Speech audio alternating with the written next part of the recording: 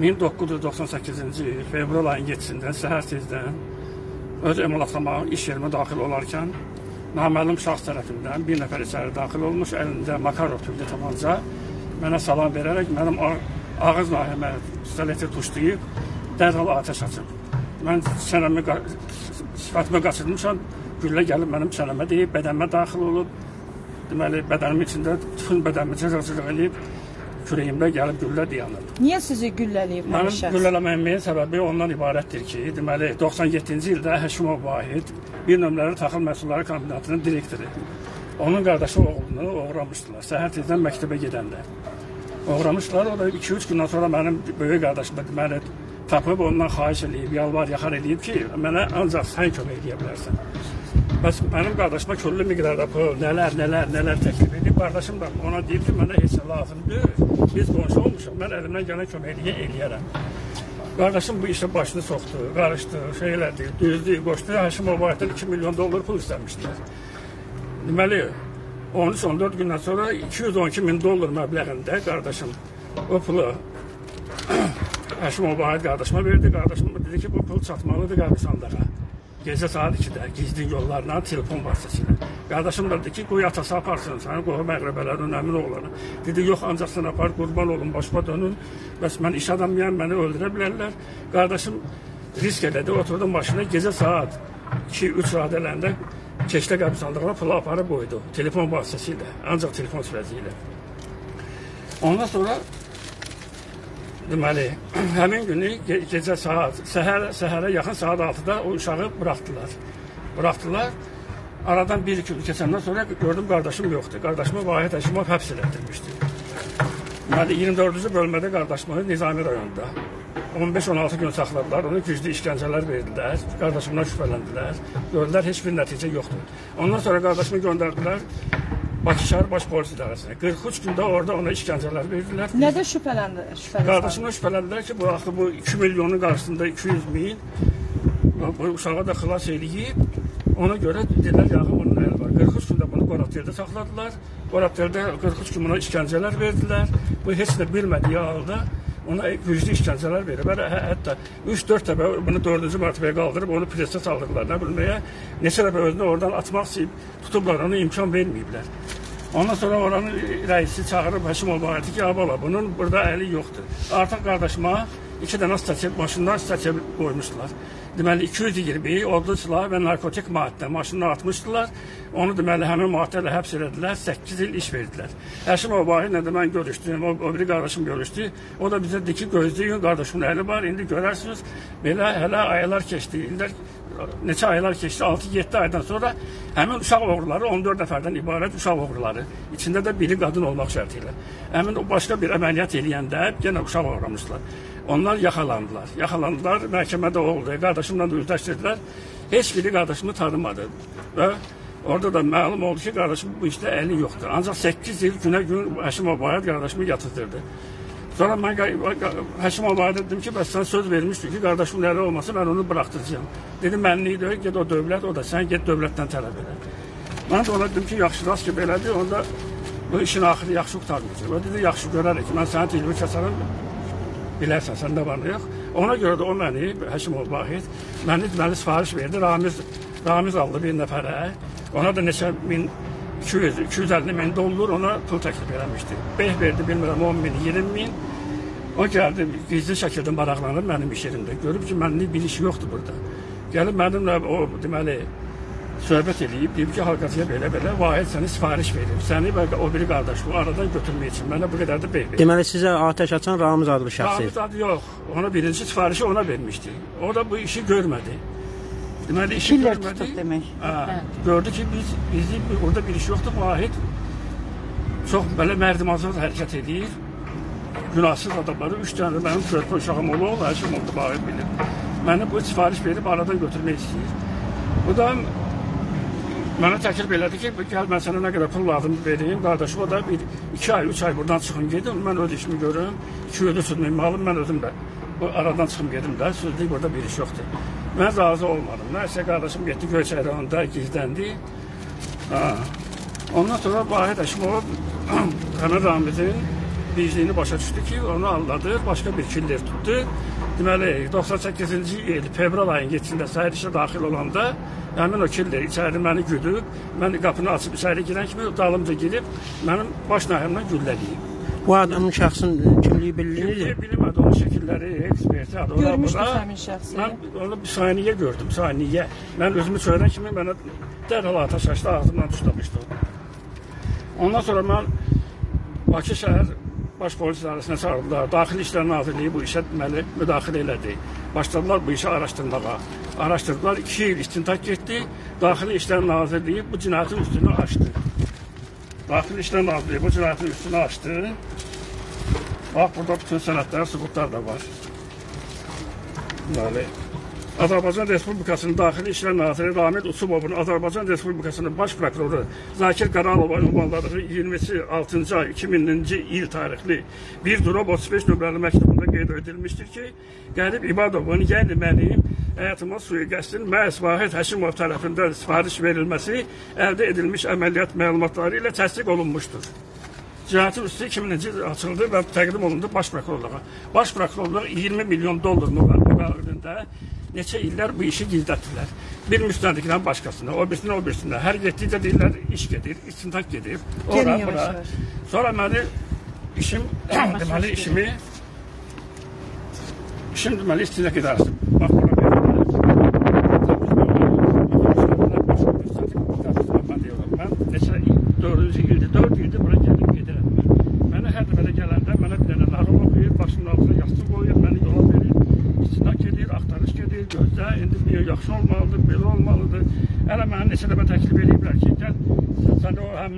işi məhkəməyə verməmək üçün cinayətkarla görüşdürək, gəlin yola gedin, belə hələ.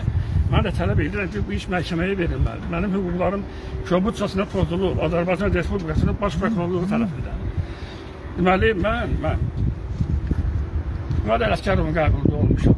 Göstəriş verib Baş Prokurorluğun Baş Prokurorluğa, Baş Prokurorluğu da istintaq idarəsində. Mən Mehriban xanım Əliyevanın qəbulunda olmuşam. O da göstəriş verib Baş Prokurorluğa ki, bu işlə ciddi məşğul olun. Mən axırıncı dəfə 5-6 ay bundan qabaq istintaq idarəsinin qarşısında deməli aksiya edəndə məni oranın deməli mətbuat katibi general mayor Eldar Sultan Eldarov məni qəbul elədi. Birbaşa deməli Kamran Əliyevlə danışdı. Kamran Əliyev də ona ciddi göstəriş verdi ki, istintaq idarəsinə ciddi göstəriş verib bu işlə məşğul olsunlar. İstinaq idarəsinə göstəriş verildi. Lakin yenə də get, gəl, get, gəl. Heç o Həşimovun Həşimovun sizlə üzləşməsi, dindirilməsi olunmu? Necə? O Həşimovun sizlə üzləşməsi, dindirilməsi olunmu? Heç nə olmayıb. Neçə dəfələr demişəm, gətirin, üzləşdirin, görüm nəyə görə məni güllələtdir. Mənim günahım nədir? Mənim heç olmasa bir payı da onun qarşısında günahım olsa, mən bu işə heç qarışmaram. Mən haqqımı ölənə kimi tələb edəcəm bu dövlətdən. Bu o, izləyicilərimizin məlumat olsun deyə Vahid Həşimov kimdir? Vahid Həşimov, Vahid. Vahid Həşimov, Vahid bizi də vaxtında qonşu olub, vaxtı idi. O da olub bir nömrəli taxıl məhsulları kombinatının direktoru olub. İmkanlı adam olub. E, imkanlı Yəni, adam şəxs Deməli, mən deməli, baş prokurorun qabağında üç dəfə Deməli, üç dəfə orada mən aksiya elədiyimə görə Həşimov Vahid götürüb məni məhkəməyə verib. İçində buna mən cina, mən deməli zərər çəkmiş şəxs olublar. Mən güllələnmiş hallar. Üç dənə mən evlad atası olublar. Mənim belə kiçik oğlum müharibə veteranıdır. 44 gün Xocavənd uğruna gedən deməli döyüşlərdə qəhrəmancasına iştirak edib. Ondan sonra o peşəkar döyüşçü olduğuna görə onu müharibədən sonra 6 ay edib Ağdamın Gülablı kə- kəndində o deməli ermənilərlə üzbəüz oranın azadlığı uğruna iştirak edib orada. Yoldaşım da şəhid bacısıdır. Şəhid bacısıdır, veteran atasıyam.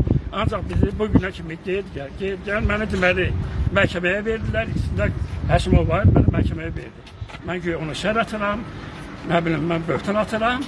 Deməli 9 ay mənim məhkəməm getdi. 9 ay. Sabunçu rayon məhkəməsində birinci məhkəməm deməli Süleyman Ağayev sədrliyi ilə mənə deməli mənim xeyrimə qərar qəbul olundu. Sağ olsun, təşəkkür edirəm ona düzgün qərar qəbul etdiyinə görə. Ondan sonra mənim işimi verdilər apellyasiya məhkəməsinə. Dedilər ki, işə düz baxılmayıb. Onun deməli vəkili. Fərzdən işi göndərdilər yenə Sabunçu rayon məhkəməsinə. Nigar xanım İmanovun sədrliyi ilə. O da 3 aya kimi davam elədi bu məhkəmə prosesi. Orada da mənim xeyrimə Nigar xanım İmanova deməli mənim xeyrimə qərar qəbul etdi. Ondan sonra yenidən işi verdilər apellyasiya məhkəməsinə. Apellyasiya məhkəməsi bu dəfə onların işini vəbsə rədd elədi. Dedi, gedin işinizlə məşğul olun, görün bu o- oğlanın başına nə oyunlar, bu ailəsini... E, siz belə baxıram ki, xüsusi ittiham qaydasında, yəni onların şərəf və layiqətinin alçaldılması barəsində şikayət verir. Bu təsdiqini tapmadı. Heç bir təsdiqini tapmadı. İndi hal-hazırda Vahid Həşimovun işi üzrə istintaq gedirmi və istintaq kimdədir? Mənim Sana Paşaya baxırdı burada. Bir də mühüm işlər üzrə baş müstəntiq Təbriz Məmmədiyarov. Deməli, Sana Paşa 3 il məni aldatdı. 3 il. Dedi belə eləyək, elə eləyək gözlə. Vaxtlar gedir, o gedir, bu gedir. Halbuki bu cinayət üstü açıqlı olur. Mənlə oyun oynayırlar. Deməli bu yaxınlarda bir 5-6 ay bundan qabaq Sənan Paşayevi göndərdilər Naxçıvana deməli prokuror müavini. Onun yerinə gəldi Qasım Məmmədov. Qasım Məmmədov məni qəbul elədi. Təbriz Məmməd yolunda birlikdə. Və mənə söz verdi ki, mən özümü sənin yerində təsəvvür edirəm. Daha narahat olma. Mən bu cinayətin üstünü açacağam. Hər şey sənin xeyrin olmalıdır. Narahat olma. Mən səni özümü sənin yerində təsəvvür edirəm. Deməli 4-5 ay bundan qabaq təzə cinayət işi açıldı. 120.2 maddəsi ilə Həşimov Vahidə qarşı deməli cinayət işi başlanıldı. Məni deməli çağırdılar, dindirdilər, izahat aldılar, yazdılar, qol çəkdi. Ondan sonra şübhəli şəxslər, ondan sonra deməli şübhəli şəxslər sonra şahid qismində olan şəxslərə çoxlu tərəfəmə gedir. Onlardan deməli izahatlar aldılar. Nəhayət Həşimov Vahidi istidaqa cəlb elədilər. Onun evində axtarışlar apardılar. Onu qolu qandallı hər gün bura gətirib ondan izahatlar aldılar. Və Həşimov etiraf elədi ki, bəli, İbadov bərimi mən güllələtdirmişəm. Ramiz Nadirov mən öldürtdürmüşəm.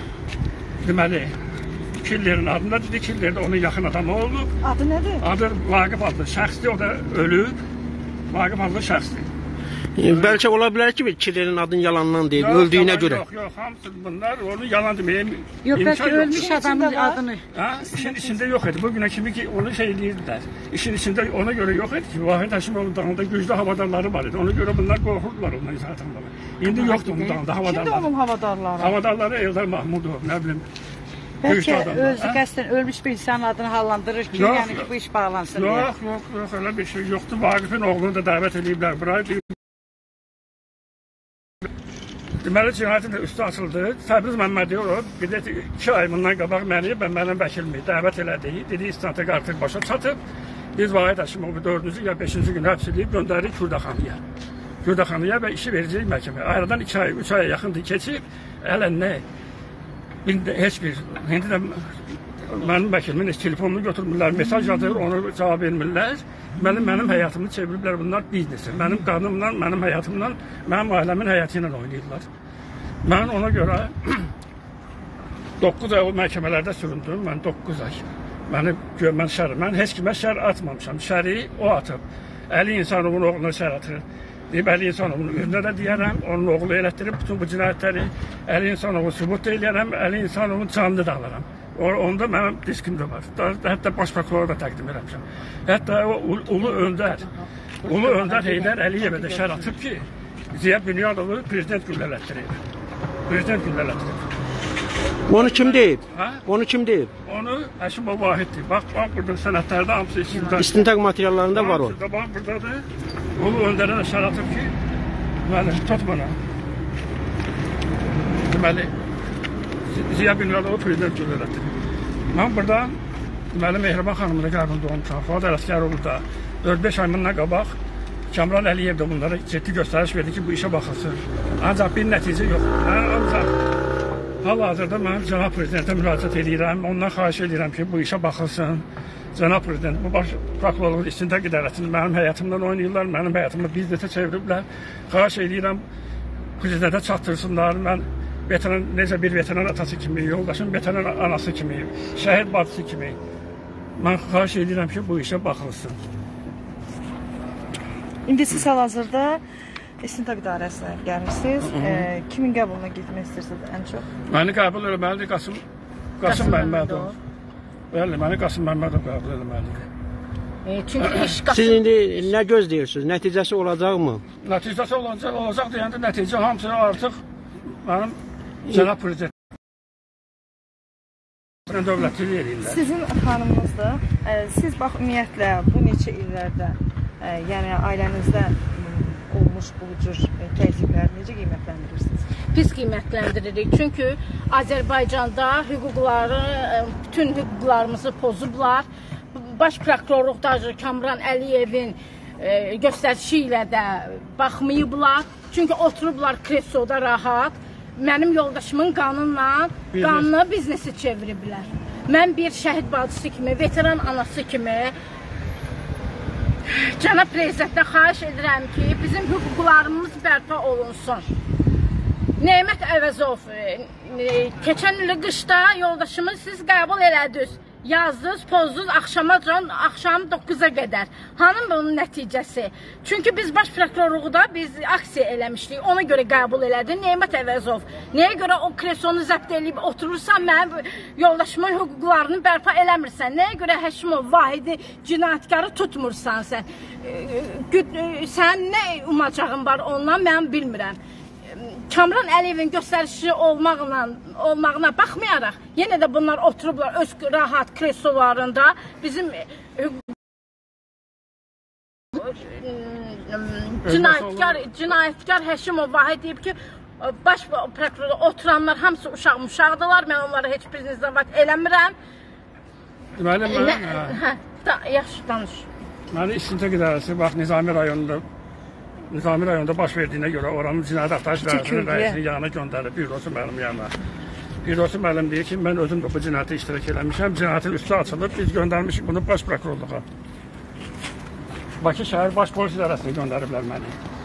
Orada da cinayət axtarış idarəsinin rəisi məni qəbul edib. Ona məlumat verib ki, bu cinayətin üstü açılıb. Sonra Daxili İşlər Nazirliyinə məni göndəriblər, güya iş görürlər. Daxili İşlər Nazirliyində cinayət axtarış idarəsinin rəisi Arzu Daşdəmirov məni qəbul edib. O deyir, sənin üç bura göndəriblər. Bu cinayətin üstünü biz açmışıq, göndərmişik baş prokurorluğa. Yer haqqımı oradan tələb elə. Mən də haqqımı bu günə kimi tələb eləyə bilmirəm. Haqqımı bərpa eləyə bilmirəm. Yəni cinayətkar bəllidir amma Cinayətkar bəllidir. Bu yaxınlarda da özü də etiraf elədi ki, bəli, İcraat mən yox. idi, mən to Əli Qandallı onu dəfələrlə bura gətiriblər. Ondan deməli izahatlar alıblar, dindiriblər. Hamısında məcburiyyət qarşısında bir şey deyib. Orada onsuz da gizlədilməli bir iş yoxdur. Bu cinayət materiallarında hamısı var. Burada onun hələ nə qədər burada cinayət əməlləri var. Nə qədər cinayət əməlləri var, mən hələ onları mən demirəm. Hələ bu o kağızlarda nə qədər Həşimov adın cinayət əməlləri var. Tamam, keçin. Keçin, keçin qəbula. Görəsən.